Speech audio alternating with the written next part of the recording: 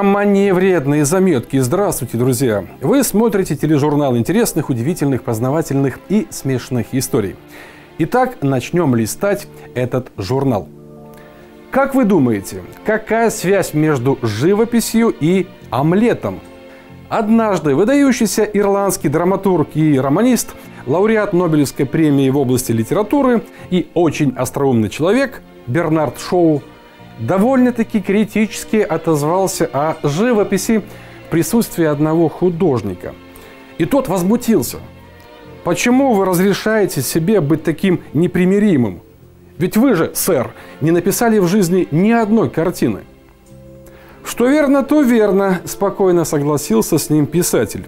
Но могу же я высказать свое мнение об омлете, хотя в своей жизни не снес ни одного яйца. Тема сегодняшнего выпуска – исторические байки. И коль уж речь зашла о Бернарде Шоу и еде, то вот вам еще одна забавная история о весьма остром языке великого драматурга. Однажды Бернард Шоу встретился с очень толстым джентльменом. Взглянув на худого Шоу, толстяк презрительно сказал – у вас такой вид, что можно подумать, будто Англия голодает – а посмотрев на вас, ответил Шоу, можно подумать, что вы являетесь причиной этого голода. Вдогонку только что рассказанной истории так и просится еще одна историческая байка о толстом и надменном вельможе. После возвращения из Европы русский царь Петр I на одном из перов стал обвинять Польшу во множестве грехов, как действительных, так и мнимых. Он дошел даже до кулинарных пустяков. В Вене я потолстел от хорошей еды, но все взяла назад бедная Польша. На эти царские слова очень обиделся польский посол, который был достаточно полным человеком. Удивляюсь, что это случилось с вашим царским величеством. Я там родился и воспитан, и однако, как видите, я разжирел. На что Петр Алексеевич возразил так – не там, а здесь, в Москве ты отъелся. Этим царь намекнул на большое денежное содержание, выдаваемое польскому послу, и его активное участие в русских пирушках.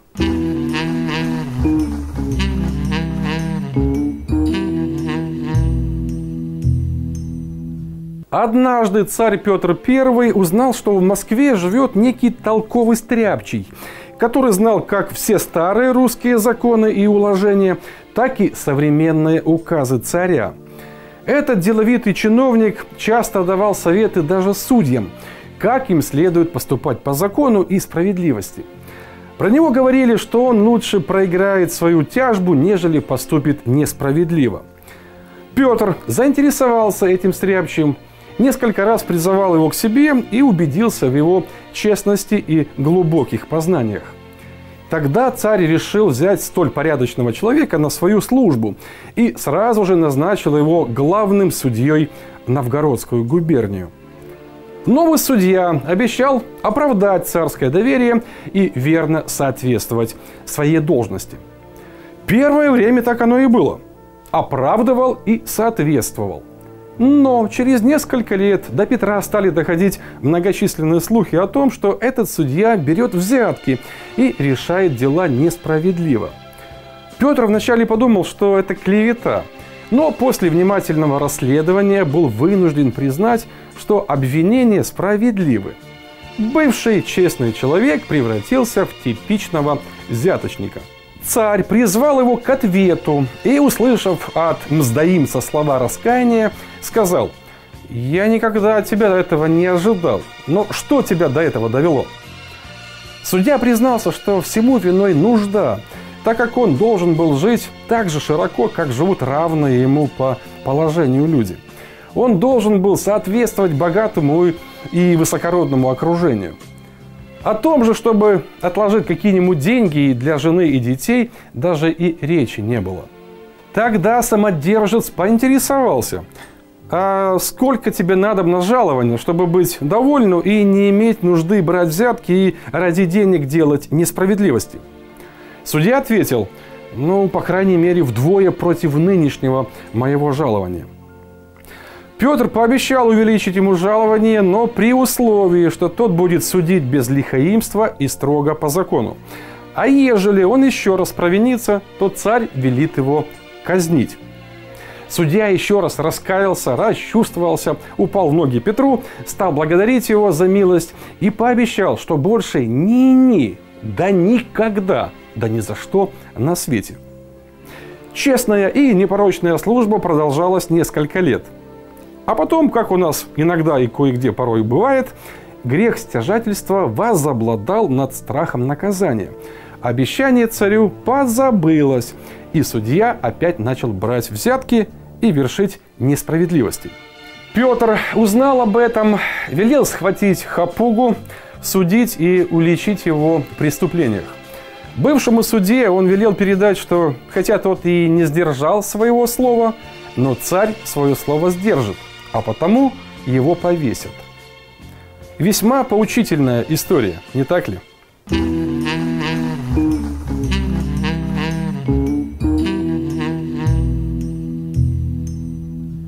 Бывший подполковник лейб-гвардии, ссыльный декабрист Михаил Сергеевич Лунин по окончании каторжных работ был поселен в селе Урик Иркутской губернии. Там он занялся литературно-политической деятельностью, желая написать историю декабристского движения.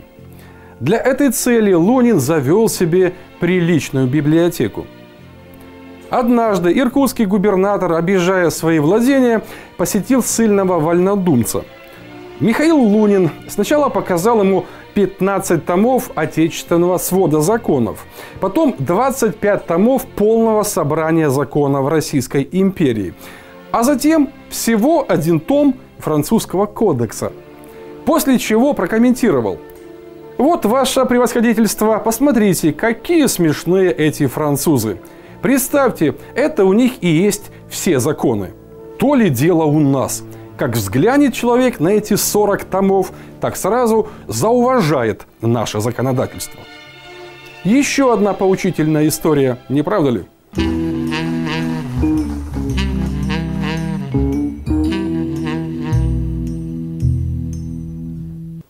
Выдающегося российского и советского математика, механика, кораблестроителя и академика Алексея Николаевича Крылова есть книга мемуаров под соответствующим названием «Мои воспоминания». В ней собрано много чего интересного, для пересказа даже краткого ее содержания уйдет много времени. И поэтому делать этого не буду. Расскажу всего одну короткую забавную историю о жутком матерщиннике Льве Николаевиче Толстом. Отец Корабела Алексея Крылова был артиллерийским офицером. С началом Крымской войны он попал в Севастополь и был там определен во вторую легкую батарею 13-й артиллерийской бригады. И там он узнал, что занял должность, на которой до него состоял граф Лев Толстой – Молодой офицер Толстой запомнился своим сослуживцам страстным желанием извести в уверенной ему батарее матерную ругань. Сиятельный граф старался повлиять на нравственный и культурный уровень своих солдат. Пытаясь искоренить среди них ядреный мат, он увещевал их так. «Ну к чему такие слова говорить? Ведь ты этого не делал, что говоришь. Просто, значит, бессмыслицу говоришь. Ну и скажи, например, «Елки тебе палки» или «Едондер пуп» или «Эх ты, Ерфиндер», ну и тому подобное. Солдаты эту воспитательную работу поняли по-своему. Новому офицеру Крылову они рассказали о его предшественнике весьма своеобразно. Вот был у нас офицер, его сиятельство граф Толстой. Вот уже матерщинник был. Слова простого не скажет – так загибает, что и не выговоришь.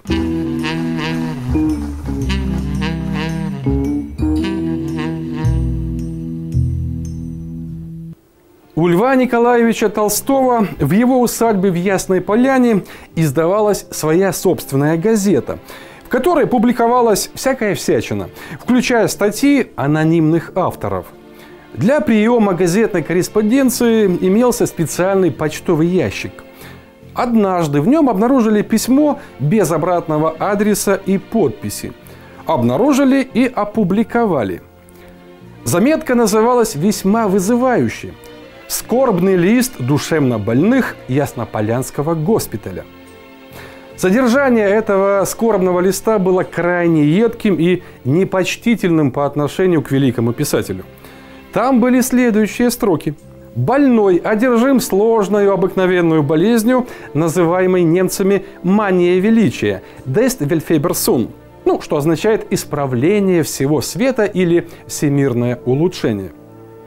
Признаки общие – недовольство существующим, осуждение всех, кроме себя, и пристрастие к изложению своих фантастических теорий. Лечение двоякое – физический труд, поглощающий почти все свободное время – беспристрастное уличение в несостоятельности теорий и в своей слабости, и полное равнодушие всех окружающих. Диета – скудная пища, отсутствие прислуги и никаких книг и разговоров. Самое интересное в той ядовитой заметке выяснилось позже. Только спустя некоторое время открылось, что автором этого едкого анонимного письма был сам Лев Николаевич Толстой.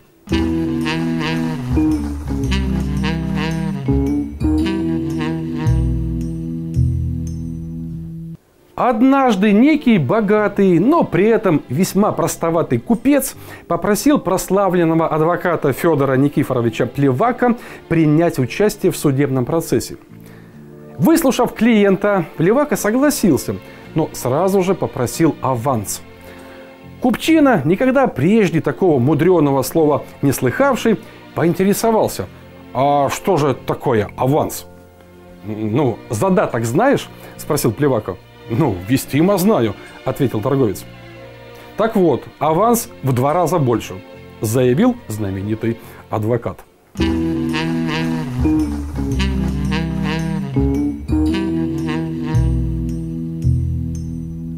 Однажды во время путешествия по стране личный водитель британского премьер-министра Уинстона Черчилля сбился с дороги и завез своего очень важного пассажира неизвестно куда – Крайне раздосадованный Черчилль высунулся из окошка и окликнул случайного прохожего. «А, «Извините, не могли бы вы любезно пояснить, где я нахожусь?» «В автомобиле», – буркнул остроумный прохожий и зашагал себе дальше. «Вот ответ, достойный нашей палаты общин», – сказал Черчилль, обращаясь к шоферу. «Во-первых, краткий и хамский. Во-вторых, совершенно ненужный. И в-третьих, не содержащий ничего такого, чего бы спрашивающий не знал бы сам. Великий театральный режиссер и реформатор Константин Сергеевич Станиславский, уже находясь в преклонном возрасте, однажды позвонил по телефону Иосифу Сталину. Пока шел вызов, пожилой человек вдруг осознал, что напрочь забыл имя советского вождя. И когда тот поднял трубку, Станиславский произнес – товарищ Сталин, извините, забыл ваше имя, отчество. А, ах, ах, да, спасибо. Так вот, Иосиф Виссарионович, вы сегодня хотели прийти к нам на спектакль. Однако мы вынуждены сделать замену. У нас Ольга Леонардовна заболела. В этот момент Сталин что-то ответил.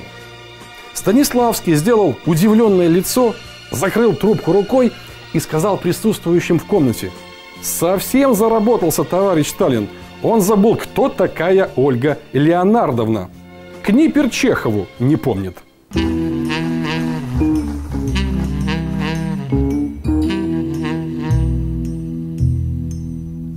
В Московском театре имени Вахтангова в 1937 году была поставлена пьеса драматурга Николая Погодина «Человек с ружьем».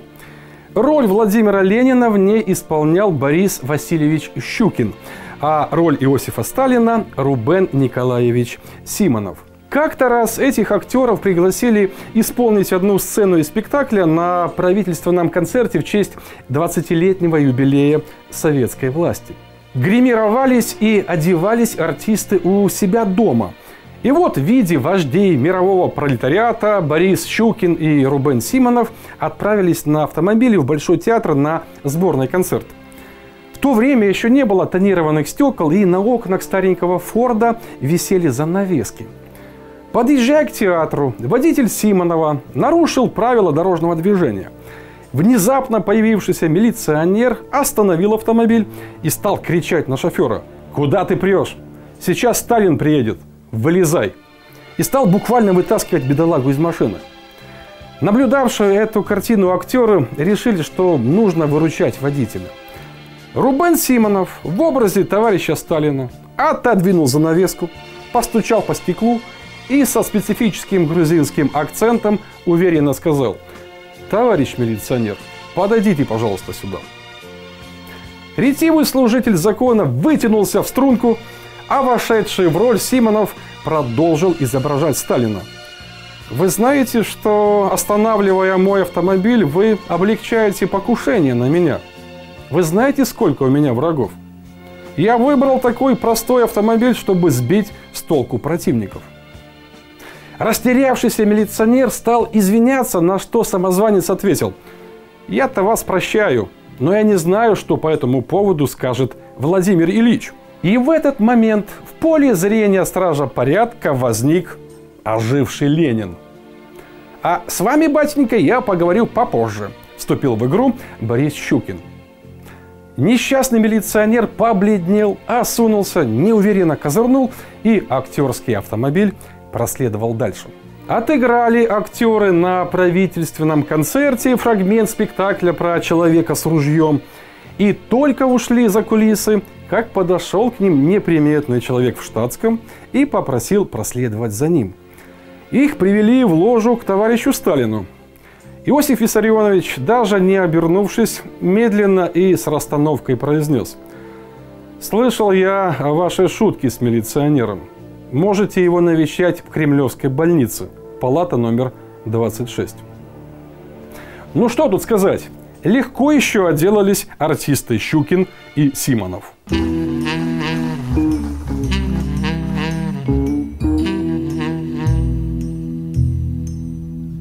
1955 году руководитель советского государства, первый секретарь ЦК КПСС Никита Сергеевич Хрущев совершал поездку по стране.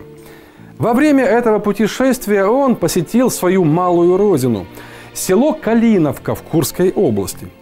К этому времени в честь выдающегося земляка местный колхоз имени Чкалова переименовали в колхоз имени Хрущева – Село Калиновка к приезду своего именитого уроженца при поддержке местного райкома партии подготовилось основательно. Столы ломились от всевозможных угощений. Праздничный обед продолжался до глубокого вечера. Под всякие разные напитки с обильной закуской Никита Хрущев с огромным удовольствием общался со своими земляками – он узнавал своих родственников и одногодков, многих из которых не видел 30, а то и 40 лет. Друзья детства подходили к самому главному человеку страны, разговаривали с ним о былом прожитом, да постоянно о чем-то просили. Помощник Хрущева только успевал записывать. Привезти шифер, гвозди, цемент, починить бабе Клаве забор, постелить асфальт, ну и так далее и тому подобное – в конце визита на Батькивщину первого секретаря Компартии Советского Союза к его машине провожал Никанор Кротов. Это был давний товарищ Хрущева, с которым он вместе в детские годы пас скот, и который со временем стал председателем местного коллективного хозяйства. Изрядно захмелевший председатель Никанор Кротов покровительственным басом напутствовал отъезжающего гостя – ты, Никита, не зазнавайся. Веди себя достойно. Лодырям спуску не давай. Работай честно на благо народа. И помни, ты носишь имя нашего колхоза.